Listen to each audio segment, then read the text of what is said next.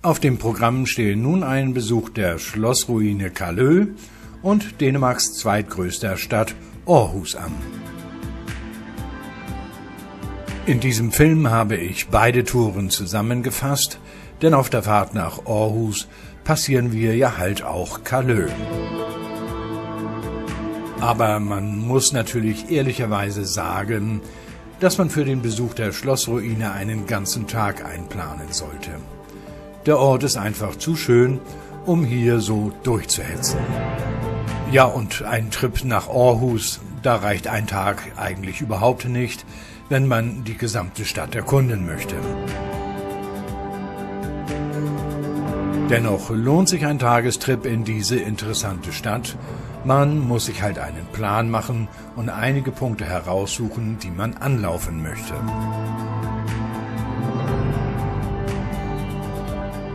Bis zur Schlossruine Kalö sind es von Sölisgard Camping knapp 20 Kilometer Autofahrt.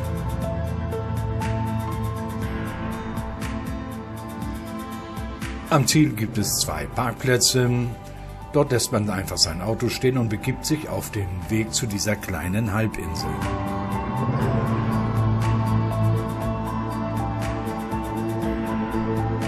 Ja, ganz da hinten sehen wir schon die Schlossruine. Noch haben wir jedoch einige hundert Meter über diese historische Straße oder besser Weg zu laufen.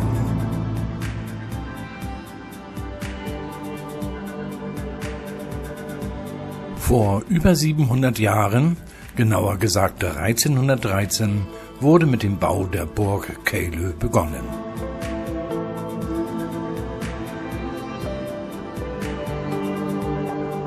Und wenn man dann diesen Kopfsteinpflasterweg Richtung der Burg läuft, dann sollte man sich bewusst machen, dass man hier gerade auf einer im Mittelalter erbauten Straße geht.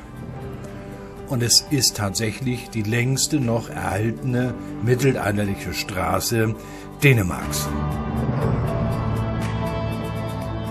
Wie viele Menschen mögen über die Jahrhunderte diesen Weg passiert haben? Mit die bekannteste Persönlichkeit, die diesen Weg beschritten hat, ist der spätere schwedische König Gustav Vasa.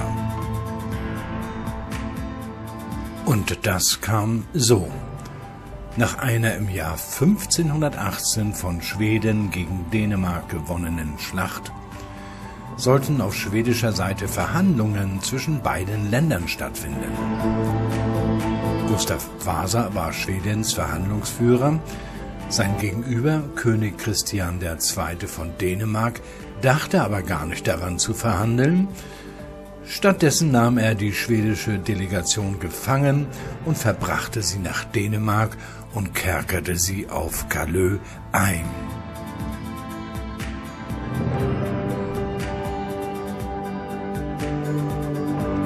Später jedoch konnte Gustav Vasa als Kutscher verkleidet nach Lübeck flüchten und gelangte so wieder nach Schweden, wo er dann 1523 zum König gewählt wurde.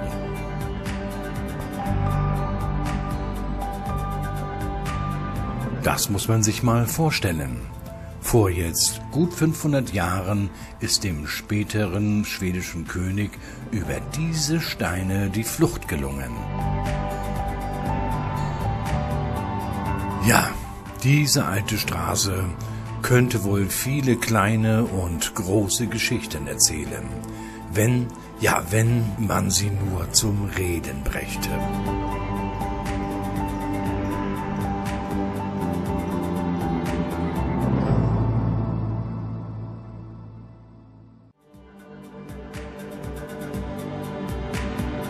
Angesichts dieser schönen Eindrücke wird nun auch klar, was ich bereits andeutete, dass man sich für Kalö doch etwas Zeit nehmen sollte. Einfach mal hin und zurück, ja, dann verpasst man wirklich etwas. Also ist man in Djursland unterwegs, dann sollte Slotsruin Keilö unbedingt auf dem Reiseplan stehen. Einen Tipp habe ich noch. Es gibt einen wunderschönen und lesenswerten Blog von Chris Gaube. Klittli, der kleine Dänemark-Blog. So hat er seinen Blog genannt. Hier erfährt man viel Wissenswertes und Interessantes rund um Dänemark. Ich erwähne dies gern, weil Chris einen sehr schönen Beitrag über die Slottsruin Keilö veröffentlicht hat. Das sollte man nicht verpassen.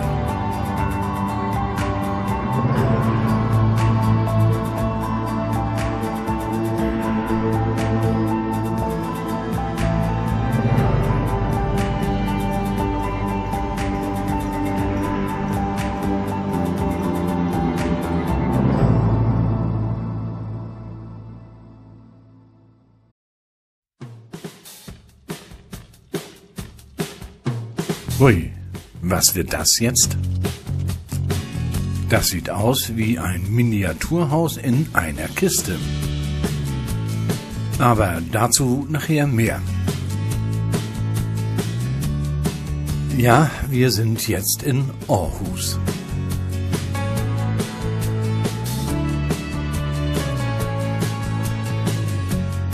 Vorab hatte ich recherchiert, wo man in Aarhus kostenlos parken kann. Die Wahl fiel auf einen Parkplatz am Botanischen Garten in der Nähe der Gamle Bü, der alten Stadt. Für vier Stunden kann man hier kostenlos parken. Natürlich mit korrekt eingestellter Parkscheibe. Das muss in Dänemark immer drin sein. Ja, und wenn ich neu in einer Stadt bin, dann stürme ich nicht gleich zu den Top 5 oder Top 10 der Sehenswürdigkeiten, sondern laufe einfach erstmal los.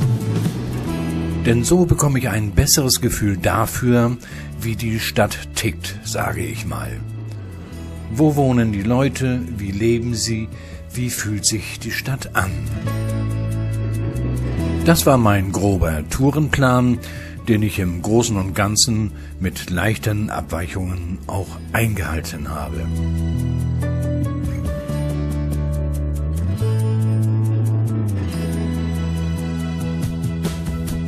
Nun geht es schon durch den Botanischen Garten in Richtung der Gamle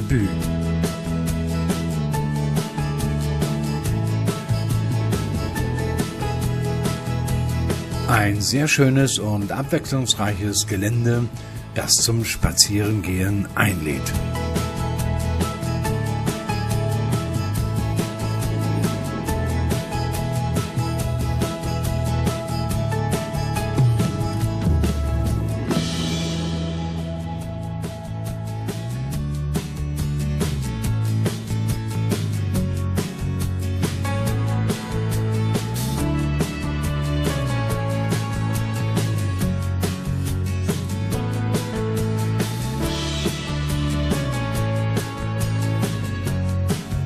Hier die alte Mühle im Botanischen Garten.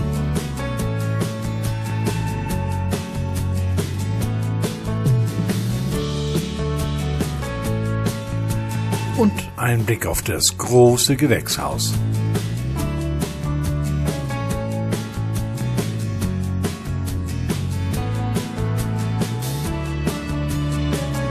In unmittelbarer Nähe des Botanischen Gartens findet man auch das Freilichtmuseum Den Gamle Bü, die alte Stadt. Ein interessantes Freilichtmuseum, welches das städtische Leben nachbildet. Aktuell befinden sich über 75 historische Häuser in dieser Anlage. Und es handelt sich wirklich um alte existierende Häuser aus ganz Dänemark, die hierhin verlegt wurden. Die Gebäude der Stadt sind bestimmten Themen gewidmet. Man findet zum Beispiel eine alte Brauerei, ebenso wie eine historische Autowerkstatt aus den 70er Jahren. Ein Besuch lohnt sich sicherlich. Für die Besichtigung sollte man aber allerdings ein wenig Zeit mitbringen.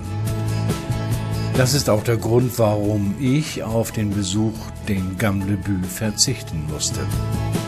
Denn heute steht ein allgemeiner Stadtrundgang auf dem Programm.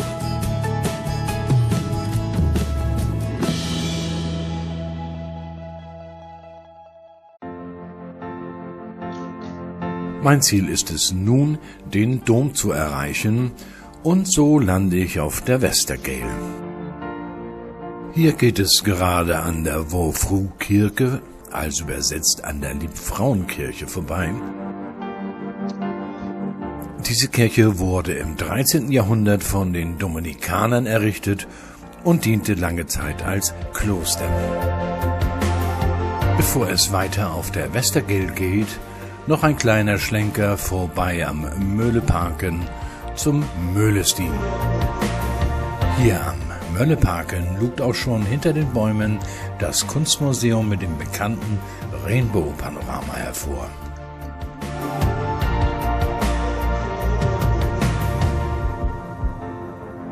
Der Möllestin entstand bereits im 13. Jahrhundert und die meisten Häuser der Gasse entstammen der Zeit um ca. 1750. Charakteristisch für diese Gasse sind die vielen Rosenstöcke, die sie zu einem sehr idyllischen Ort machen.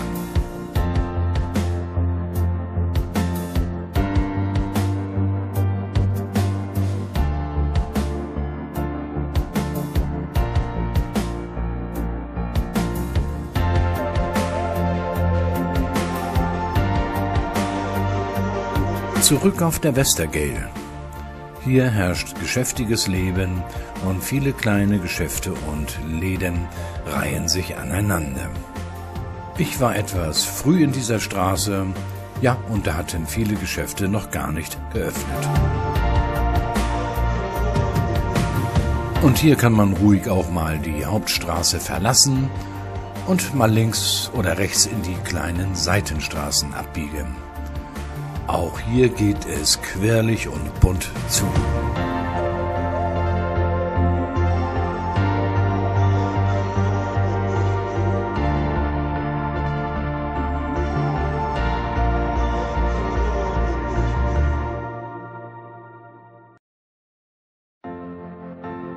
Ja, wir haben den Dom von Aarhus gleich erreicht und schauen mal in diese schöne Kirche hinein. St. Clemensdom zu Aarhus, so heißt er genau. Die Kirche ist dem heiligen St. Clemens geweiht. Das ist der Patron der Seefahrer. Um das Jahr 1200 wurde der Bau dieser Kirche begonnen und somit befinden wir uns in einem über 800 Jahre alten Gebäude. Die Geschichte des Doms ist sehr wechselvoll denn nach einem verheerenden Brand im Jahre 1330 fristete die Kirche 119 Jahre lang ein Leben als Ruine. 1449 begann dann der Wiederaufbau und die Vergrößerung. Und 51 Jahre später konnte das Vorhaben dann abgeschlossen werden. Und dann das nächste Unglück. Durch einen Blitzeinschlag wurde der Turm 1642 ein Raub der Flammen. Bis Ende der 1920er Jahre war der Dom sozusagen turmlos. 1931 war die Neuerrichtung abgeschlossen und so stellt der St. Clemensdom zu Aarhus mit 96 Metern Höhe ein weithin sichtbares Wahrzeichen der Stadt dar.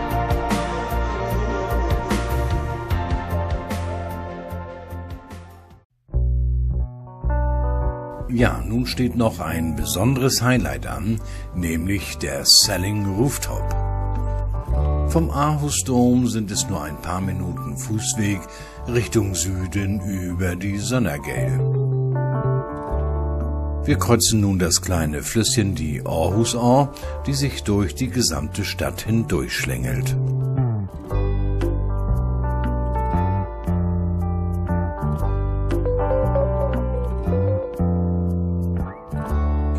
Nun ein Blick auf die andere Seite. Oh, das sieht ja recht belebt aus und ja, da muss ich doch mal einen Blick drauf werfen.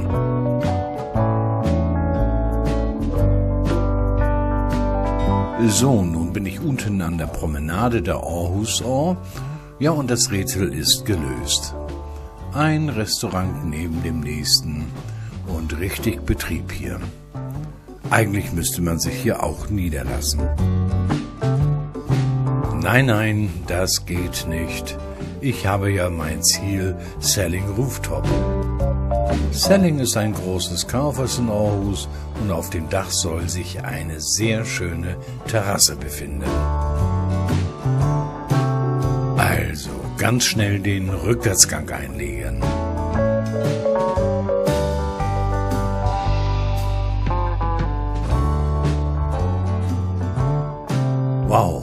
Ja das nenne ich mal eine Dachterrasse. Hier lässt es sich gut aushalten.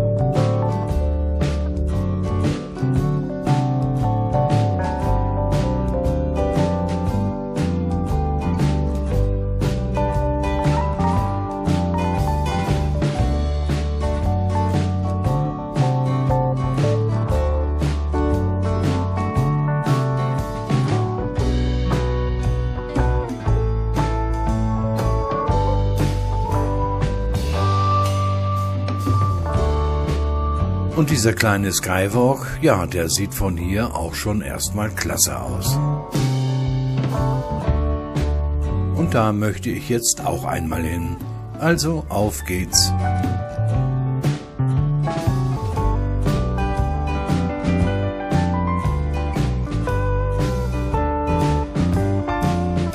Das lässt sich ja gut an. Jetzt ist es um die Mittagszeit und ich entdecke neben Touristen einige Leute, die hier offensichtlich ihre Mittagspause verbringen. Trotz meiner Höhenangst laufe ich mutig weiter bis vorne an das Ende des kleinen Skywalks.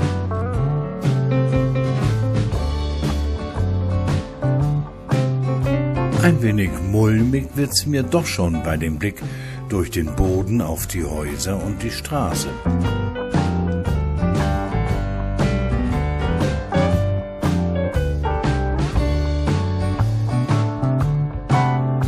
Und nun hat sich das anfängliche Rätsel auch gelöst. Es ist kein Miniaturhaus in einer Kiste, sondern wir blicken auf ein reales Haus in der Söndergale von Aarhus.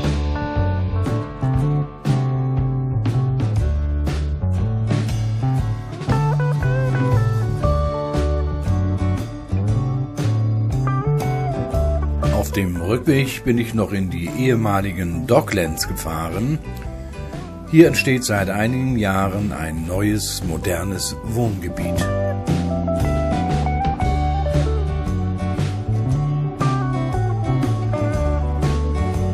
Und mein Ziel sind die im Jahre 2013 fertiggestellten Eisbärhäuser.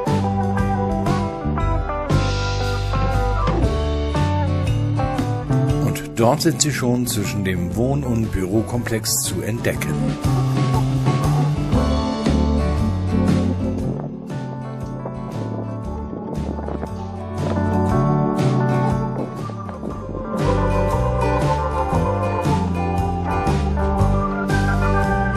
Die Häuser sind dem Stil nach und in der Anordnung den Eisbergen nachempfunden.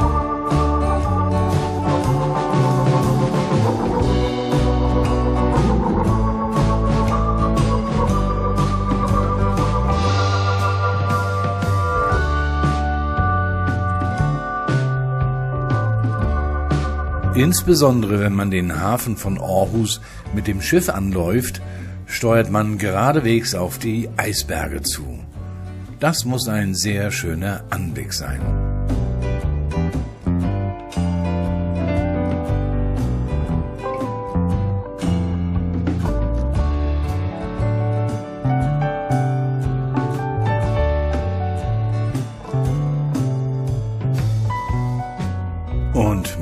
Diesen Eindrücken endet der schöne Tagestrip nach Aarhus.